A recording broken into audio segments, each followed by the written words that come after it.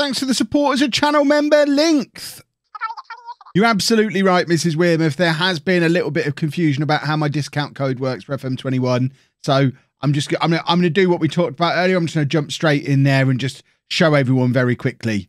Yeah, good plan. Right, it is super simple.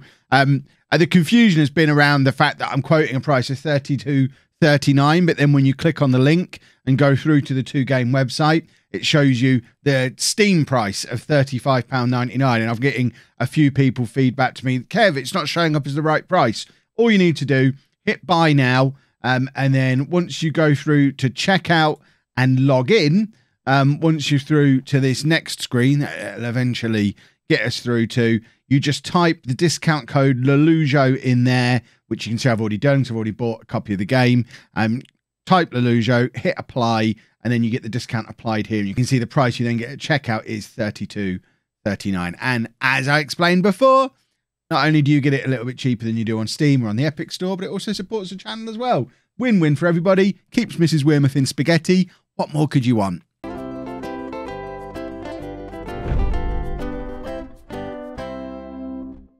And welcome to part 105 of the Greek Odyssey. I'm Kevin. Coming up on today's episode, we have our final two group games in this year's Champions League against Zenit St. Petersburg and FC Porto. Since you were last with me, um, we've uh, we had a little bit of a, a little bit of a slip off the back of the Barcelona game in the last episode. We then went to Doxa Drama, Doxa Dramas, Dramas, and um, only drew nil nil, and then only beating PAOK 1 0. So we've only scored one goal in our last three games. I'm not going to say the wheels are falling off, but they're loose, and we need to get them back engaged again. Um, we do still have the very good team cohesion, excellent dressing room atmosphere, though, so we should be fine.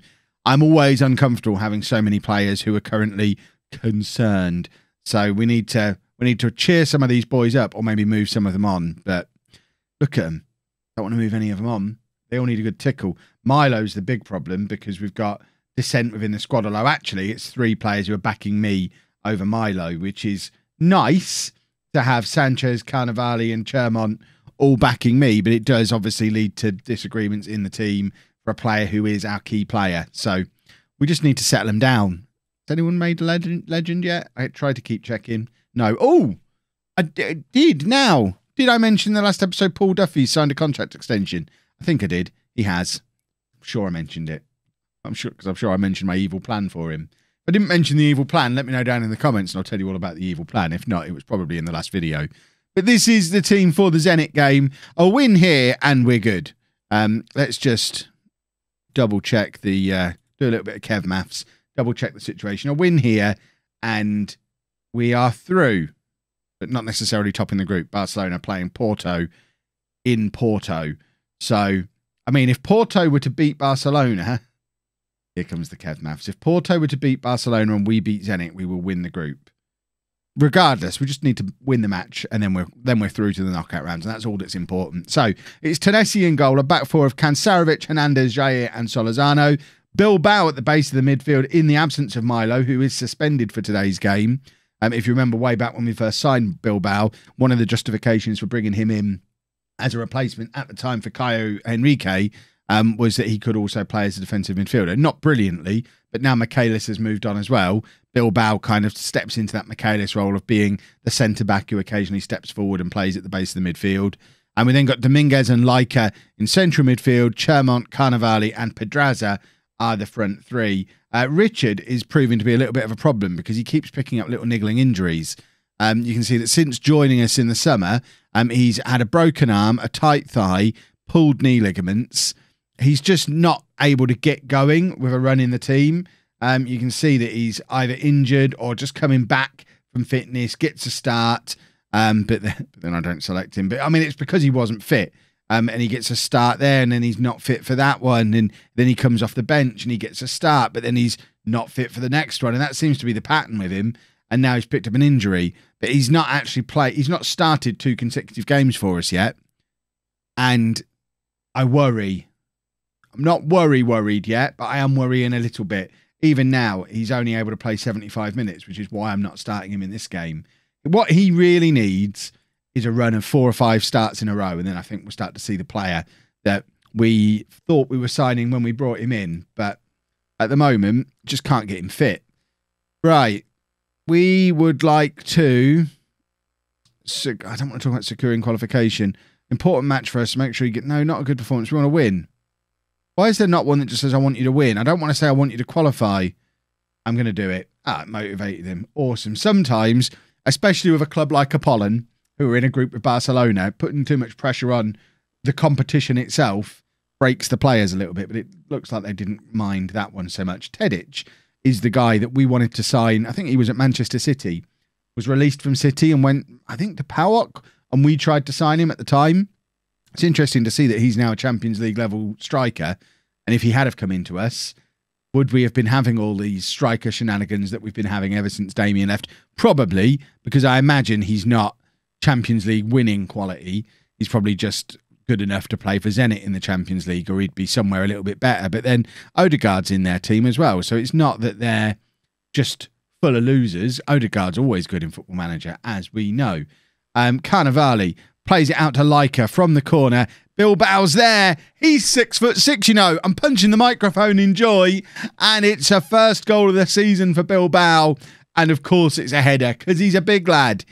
And uh, that puts us 1 0 up. And as mentioned, any kind of victory will get us through to those knockout rounds. Barcelona are ahead against Porto as well. So, as it stands, we'll still have to get a result against Porto to be sure of winning the group because you've got to expect Barcelona to beat Zenit in the final group stage, but we just need to not mess up from here. Pedraza's charging down this right hand side, ruining everybody for pace and trying to get across. In fact, plays it back to Solorzano, who's got options, one of which is Bilbao. Bilbao with a cheeky little pass to Leica. Dominguez is getting involved as well, and now we're trying to release Solorzano on the right. Just hit it first time. In fact, he keeps it in really rather well. Plays it back to Bilbao, and I would have preferred a cross, but it's I mean, it led to a good opportunity. We're playing some very good football and we've got a corner out of it. And it's going to be Leica to swing one in, looking for all the big lads we've got in the middle there. It ends up getting cleared straight back out to Leica again, who puts it back in first time, but can't find Dominguez. But Chermont has picked up the scraps and he's charging into the area, crossing, looking for Pedraza. And I think, did we win a penalty? We didn't. It's a free kick to Zenit. But that was some a good a good spell of pressure that seems to be continuing with Dominguez with an in swinger. Um, Hernandez is there at the near post but can't get uh, full contact with it. He's only five foot. T- what a goal! What a goal from Pedraza. I was on the verge of tweaking the corner instructions. I think I've got Hernandez playing in the normal Bilbao position, which means five foot ten Hernandez is the one we're aiming for from the corners. And as you see there, he's not very competitive doing it. But who needs to be good in the air when you've got Pedraza who can just step up and score from an inexplicable angle, squeezing it into the tiniest of gaps between the goalkeeper and that near post. He's got no right to score that goal from that position, but to score it, he did. And we're now 2 0 up. And it's it's still not even half time yet. And it's been all Apollon, 62% of the possession. Then it only had one shot on target so far. Now Solorzano plays it across to Chermont, who's in acres of space, but can't force it into the back of the net. Save from the keeper, but the move just continues. We're the first to every ball here, apart from that one, which is leading to a counter attack, which could lead to a goal.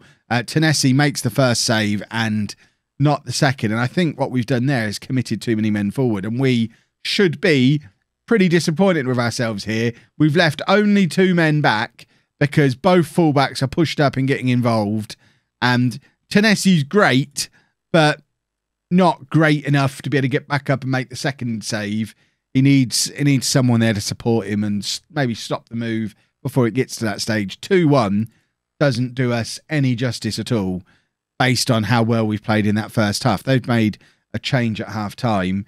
We need to grab another goal. Kansarovic in swinger, Dominguez with the header that goes just over. Barcelona still ahead against Porto. Have we got a latest score from there? It's still 1 0 to Barcelona. Porto have missed a penalty in that game as well. And now Solorzano with another long throw. But it's cleared again by Zenit. And we need to be careful about their counter attacks. We've already been caught out by them once.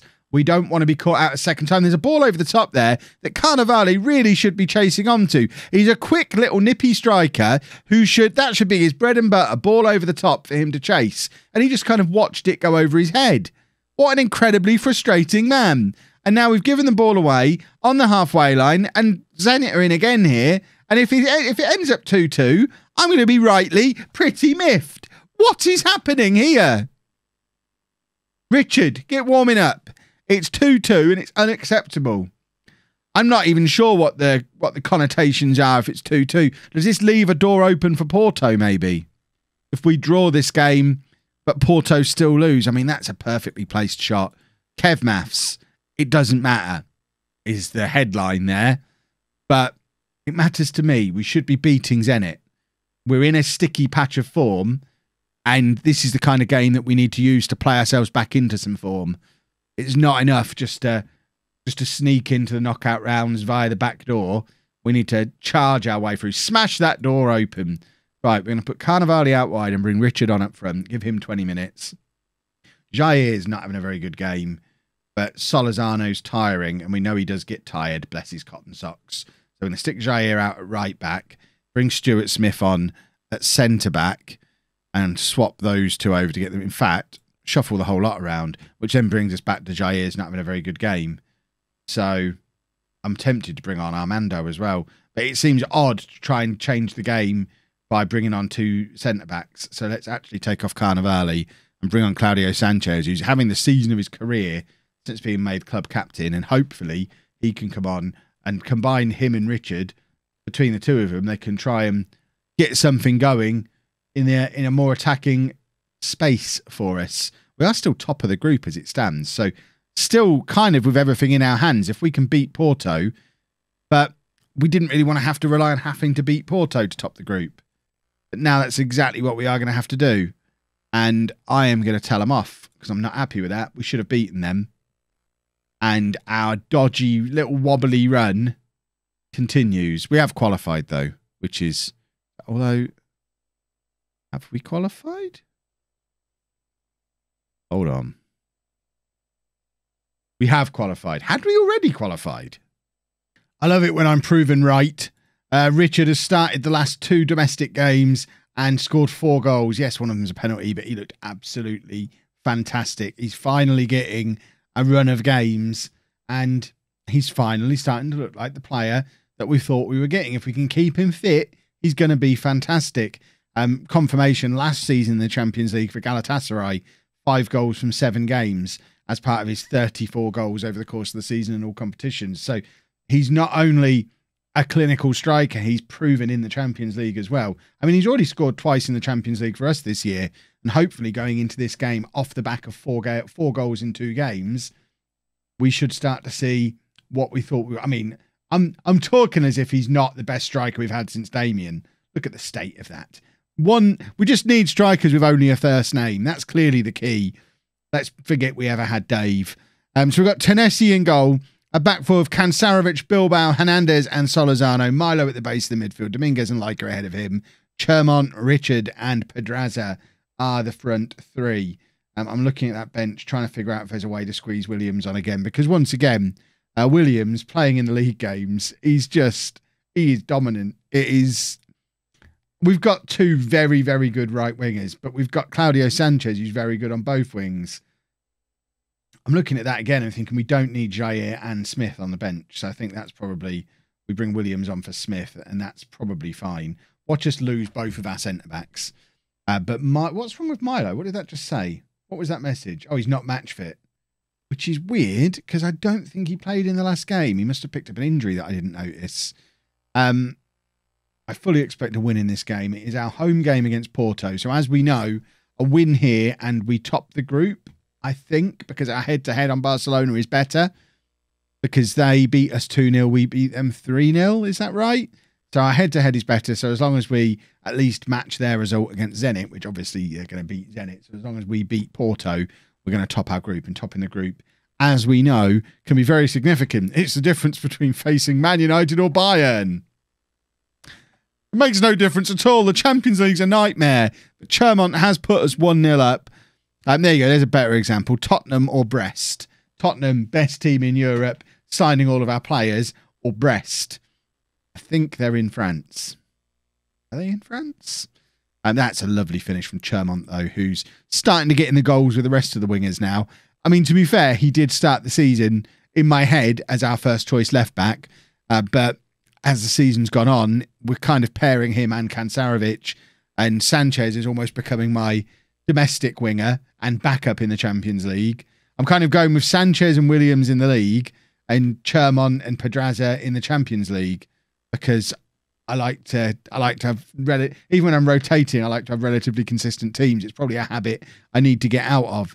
Um, Dominguez has just scored an absolute worldie though. This is ridiculous. And when did he grow a soul patch? Has he always had a soul patch? He looks amazing. But Richard doing well to play it into the path of Dominguez, who just smacks it first time really really hard and we've gone 2 0 up. I mean, obviously, we went 2 0 up against Zenit, so it's no guarantees just yet. We do need to make sure we don't take our foot off the gas like we did against them because we played some fantastic football against Zenit. I don't know why it doesn't default to the competition we're playing in. Barcelona 2 0 up over Zenit, Erling Haaland with both of the goals for them. So at the moment, our goal difference is exactly level, but I'm like 95% sure goal difference isn't going to matter and it's all about head to head. And on that basis, we'll finish above Barcelona anyway. But you know how Kev Maths is. Despite that Maths A level I'm always telling you about, I could be wrong.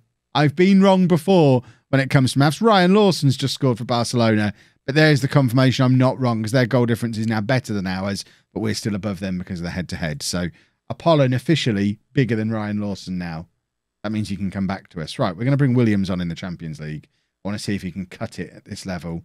And we're also going to bring on Sanchez for Kansarovic and drop Chermont back there. Um, I'm keeping an eye on Richard because fitness we still need to monitor him, and he's not having a wonderful game. But the backup option we've got is Carnevali, who I, I think I mentioned in the last episode. I think I'm probably done with Carnevali now. He's frustrated me enough for long enough. It's now 4 1 to Barcelona. Haaland getting a hat trick for them. Dominguez playing it forward to Williams. You don't see a lot of Williams running with the ball like this, but it looks like he can. He just charges through. This is sensational from Williams. I have never seen him score a goal like that. That was stunning. Every other goal he's scored this season has been a header. But we've, I mean, he's just, right, I've got to show, prove myself in the Champions League, have I? Here I go then. That was like watching Dombrowski charge forward for my Bayern team in non league to legend. He's, I think, Raymer Williams is only 19 years old. 20 years old. He's just turned 20. Tottenham have lost their minds selling us him.